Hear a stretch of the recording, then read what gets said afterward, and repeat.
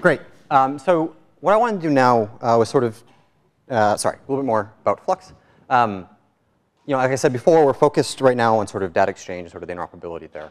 Um, but looking at that, um, you know, we see other problems as well as sort of been working. So we can only develop so much so fast. We can obviously think a lot faster. Um, and so as we've sort of been talking to a lot of our clients, sort of looking at the design process as a whole, um, I think there's more to be, uh, more low-hanging fruit to reap and sort of improve the process um, than just making the bits flow a little faster, a little bit better. Um, so I want to sort of give you my perspective and share a little bit of what I see as sort of an outsider to the industry, as a software engineer in particular, um, on sort of how the current process is working, and you'll see one of the slides again. Um, but more importantly, I want to sort of challenge you with a slightly different perspective and a slightly different way of thinking about things that I think will bring uh, bear fruit in uh, helping sort of stimulate some conversation and how we can scale this industry, or scale the process a little bit better. Um, you know, I think I want to step back even further and ask, you know, so why, why this obsession with scaling? You know, sort of Flux is all about scaling architecture and I keep on talking about scale. And as a computer scientist, you know, it's important to me, but I think I want to sort of contextualize it and make it sort of why I think some very concrete tactical reasons.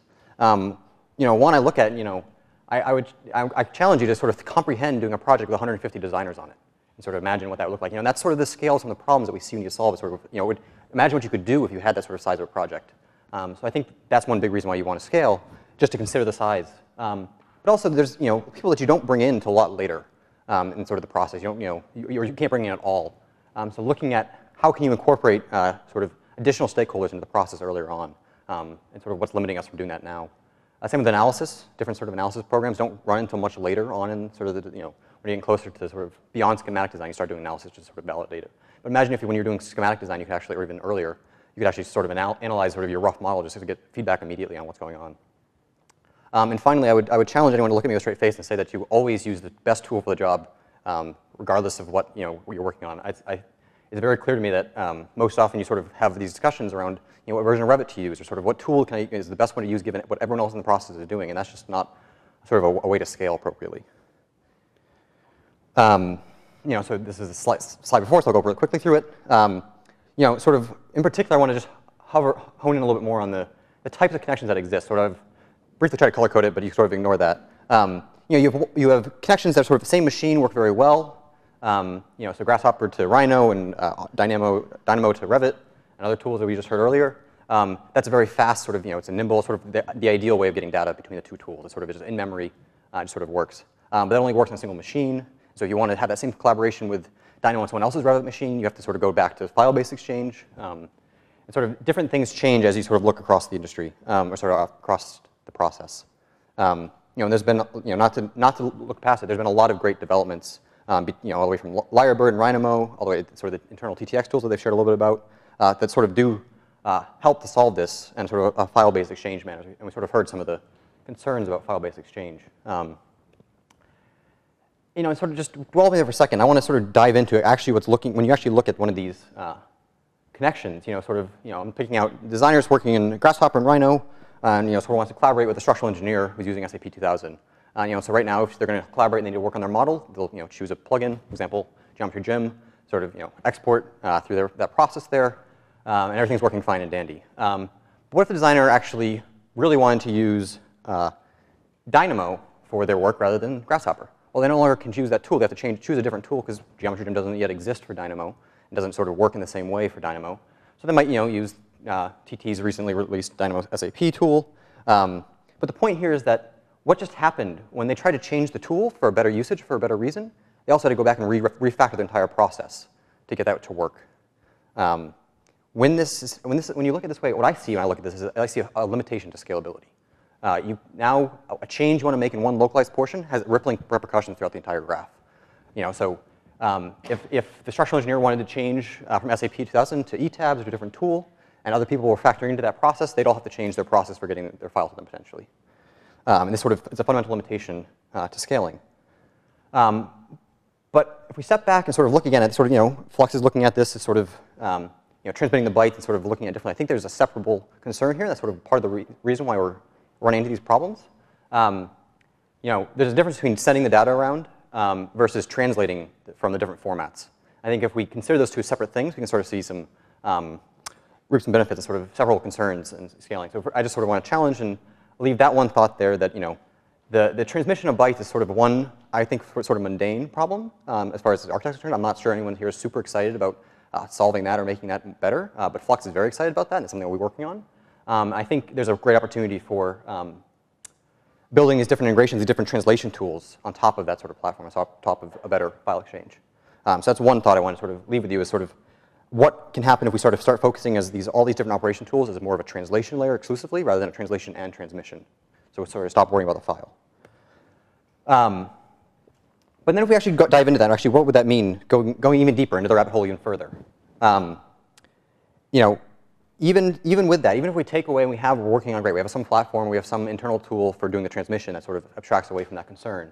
Um, you still, as you try to, um, oops, um, you know, you're still tied to it, right? So for this, this that, the problem we highlighted before hasn't gone away. If the designer wanted to move from back to Grasshopper, um, you would still have to refactor your entire process, or that sort of that one point-to-point -point solution uh, to work better. Um, you know, and often um, th because this translation requires sort of a cooperation between both the producer and the consumer um, of uh, the data. Um, you know, just as simple as CSV. You know, when you're uh, writing out and reading back in, is it, is it sort of columns first, then rows, or is it rows first, then columns? You're sort of putting in a data, you know, an array. You sort of have to agree upon that for this sort of exchange of data to work. Uh, maybe not in this particular case, but in general. Um, this sort of creates a friction uh, between uh, the different users. And as you try to add new links to the graph, it only sort of explodes on you. Uh, you have to have those discussions. You sort of have to argue over what's the best way of doing the data. Um, and sort of limits how you can work and scale overall. Um, you know, if we take a step back and look at uh, how software works and sort of how we've sort of solved these problems. You're all familiar with this. We talked talk about APIs. Um, but if you actually look down, you know, um, API stands for Application Programming Interface. And really, this concept of interface is sort of pervasive. But in software in particular, it means drawing a boundary around your, your world and defining, putting strict sort of uh, definitions on what you'll take and how you work, and defining a sort of a contract with how people who want to work with you uh, can talk to you. And you'll sort of promise a sort of a service level or the way you'll sort of, uh, how you'll work, um, as long as they sort of prescribe and write to your sort of interface. So it's sort of in software, there's this term of programming to the interface, sort of doing, your, doing coding, uh, writing your application in such a way that it's using this third-party service, but you don't have to worry about the implementation detail. For example, Oculus, such a complex device, and yet you can do so many powerful things with it because you don't have to worry about how it's implemented in the sort of internal uh, operations of it.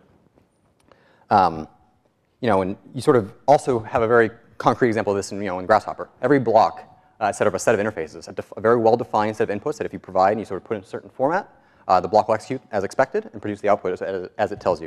You don't have to worry about how the block works internally and sort of provides a level of sort of separation of, uh, sorry, uh, abstraction. You don't have to worry about necessarily how the thing internally uh, works. Um, so if we kind of look and bring this back to the problem, actually we start to look at the tasks that the designer and the structural engineer are working on as sort of self-contained operations or logic, and you define a boundary around them, sort of this interface around them. Um, you know, and the sort of the designer says, I'm going to provide this data on, on my output of this certain format. This is what it's going to look like. And then the structure says, okay, that's fine. That's how I, and this is how I take it. And you put Geometry Gym or one of these tools, and there's a separate operation that does a transformation, a translation. That, you know, you sort of line up the interface in this way. Um, then you can see how was actually no problem at all for them to start using Grasshopper. As long as the designer, who has the onus on them to pr produce the data in the same format as they initially prescribed that they would do, then you don't have to the structural engineer doesn't have to change at all. Now you sort of start to see how you can sort of swap things out and change things around um, and add new links without having to sort of readjust the entire process. Um, and you know, sort of if we squint and go back sort of that initial diagram I had and start drawing sort of boundaries around this way, um, you'll start to see that actually if we sort of, you know, with this sort of abstraction, this sort new, new way of looking at things, we can abstract away um, and sort of start breaking things down into these smaller tasks.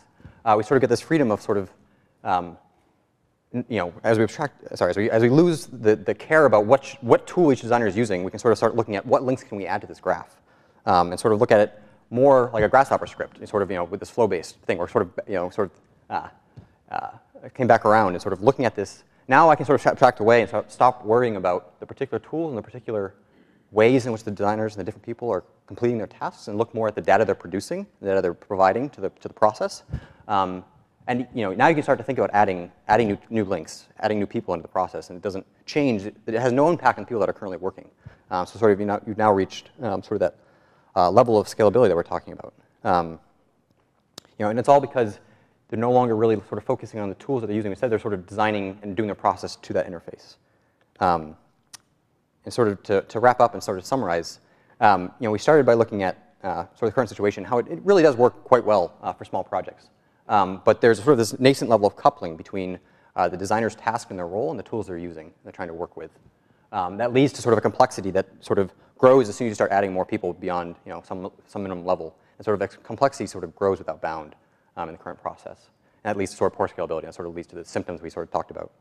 Um, you know, if, if we step back and sort of realize that you can sort of separate out the interoperability problem into uh, sort of transmission versus a uh, translation problem, uh, you sort of see how you can sort of solve the two independently. And you can sort of leave the, the transmission layer sort of a separate sort of fundamental layer to build on top of, uh, for example, the Flux solving or other people are solving. Um, and start worrying and start focusing your, your attentions uh, more on the translation layer, which is sort of where the, the bread and butter sort of getting this, all this data flowing uh, sort of in a meaningful way to actually do the design process. In some ways, the design process, just like doing your task in Grasshopper, just arranging a bunch of existing logic. The design process overall, some level, in some ways of looking at it, can be looked at as sort of uh, grouping, and sort of arranging the different uh, tasks, and sort of making the making sure all the the project work is flowing. Um, you know, sort of the thought, parting thought I want to leave with you is sort of stop uh, stop doing your designing around the particular tools and sort of start designing these interfaces and sort of how can you uh, separate yourself uh, from having to worry about how other people do their work. Um, with that, uh, I'll leave you with that.